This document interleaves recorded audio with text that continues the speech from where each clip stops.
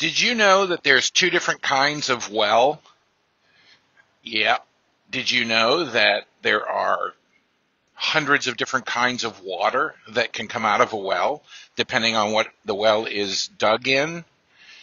Did you know that you should always test your water quality coming out of the well and uh, make sure that it's okay for fish, but if you don't want to test it, there's another way to make your well water safe. That's what we're going to cover in this video today. The ins and outs of keeping tropical and pond fish when your source water is a well. Let's get started.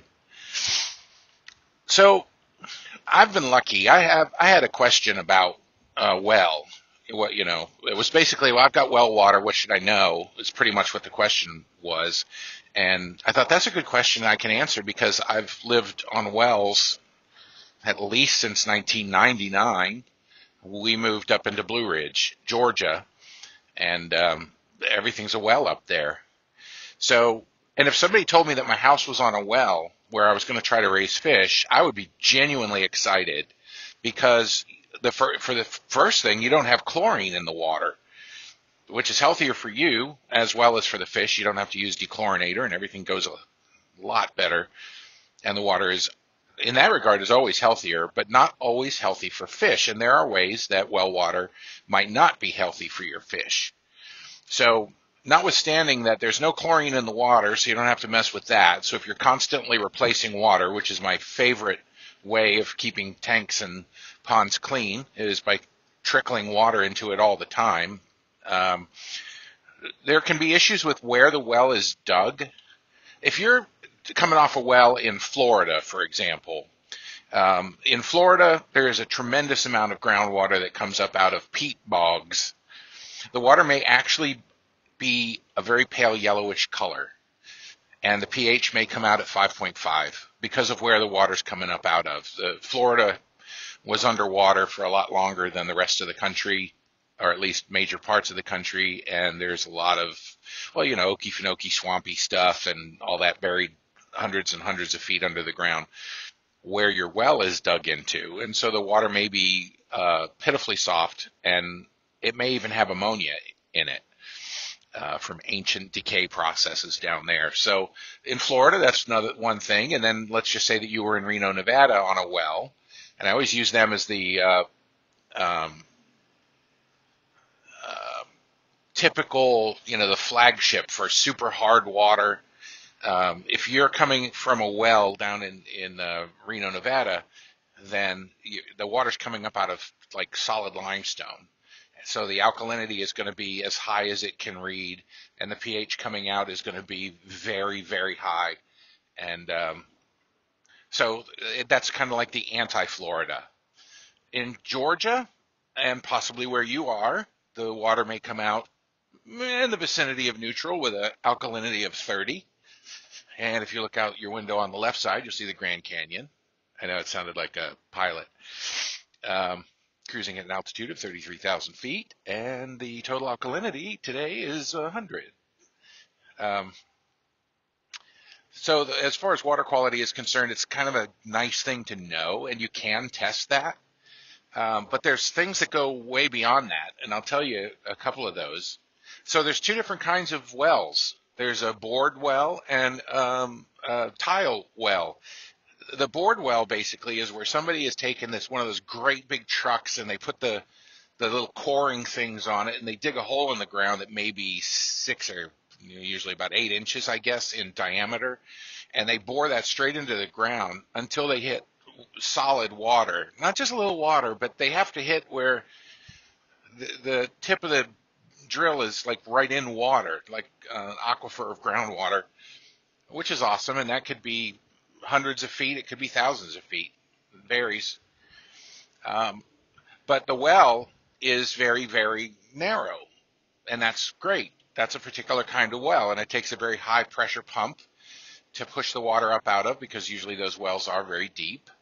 And that high pressure pump can sometimes create an issue uh, which is injection of air into the water, uh, because anywhere along the line to the surface there can be a pinhole, and under certain circumstances, It may be that the water coming up under pressure past that pinhole can venturi or suck little tiny amounts of air under pressure into the well water. And, and if that happens, what you'll notice is you use the well water to fill up a tank or whatever, and there's uh, a million little tiny bubbles that appear on the surfaces of everything. The lining the sides of the tank and the plants and even the fish sometimes in extreme circumstances. You just get this light dusting of bubbles all over everything. That's not desirable. It's not fatal usually unless it's absurd uh, how bad it is, or if maybe the dissolved oxygen, or excuse me, dissolved air level in the water is dangerously high. And I'll tell you later how to know. But uh, back to the bored well, it's just a like a core taken out of the earth, and uh, a pump is dropped down in there. Now the tiled well has clinical relevance. I'll get to that.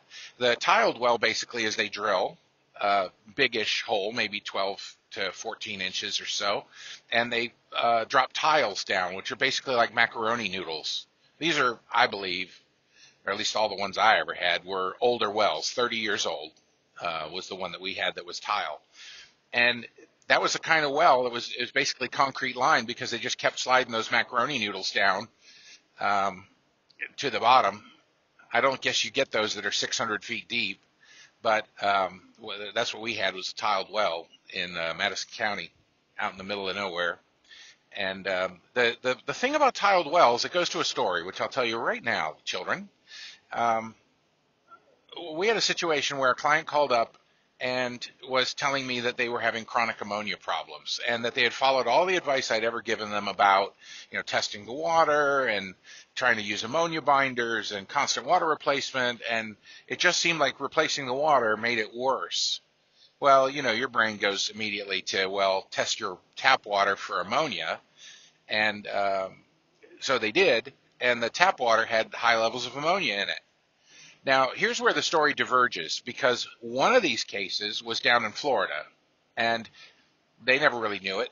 They had just moved in, I suppose, and, and they didn't, or had never tested, and they found out that ammonia was coming out of the tap because they were in Florida and coming off a peat bog. So it's not like I made that up. It was actually a case that I saw, and that was the trick ending.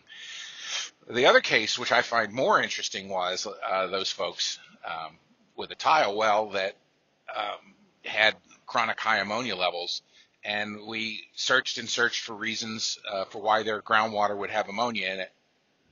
And it turns out that uh, because it was a tiled well, it was possible for an animal to fall down in the tiled well, which is what had happened.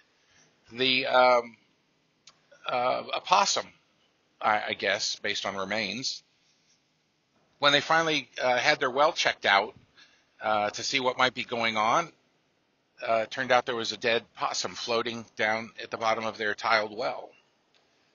Kind of interesting, huh? So having a well matters uh, as far as where your source water is, but the kind of well matters because sometimes junk can get down into your well.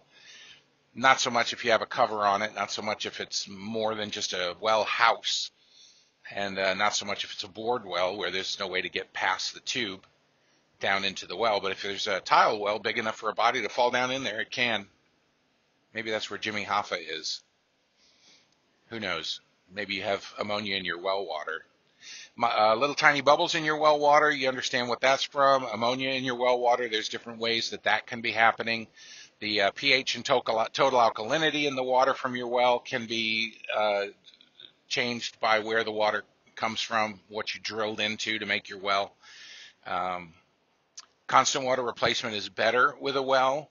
But what happens if there's like poisons or toxins or I don't know some other kind of stuff in the well water? How, how, do you how do you know that? Like, can you trust well water if you know what the pH and ammonia and, and nitrite and you know you kind of have an idea what the testable features are? How do you know whether or not your well water is good? And there's a thing called uh, biological test, which is by far my favorite method of determining whether or not your well is okay.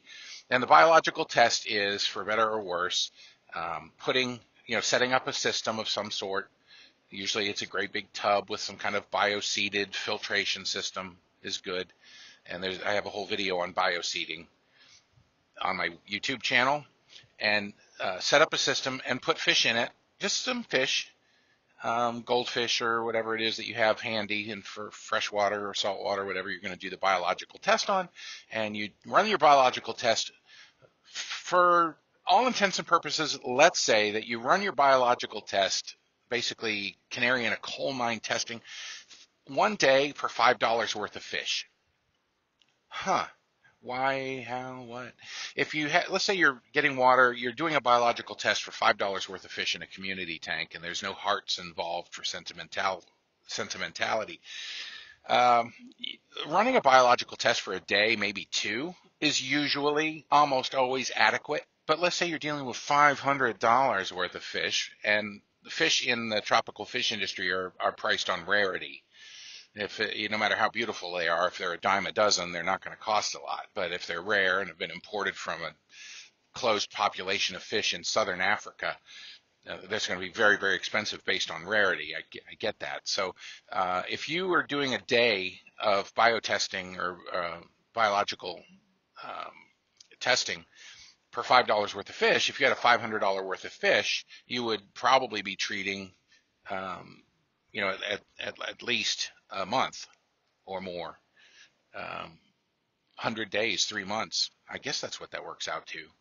Uh, well, here's what I'm getting at basically. If you were to um, keep a biological test running for a month, at that point, things that were more insidious would show up, like uh, chemicals that were cumulative in the system, or let's say you were running uh, high nitrate levels and you didn't know, or maybe you know periodically when the well would come on, it would pump hydrogen sulfide up in small amounts every time the well came on, but not all the time.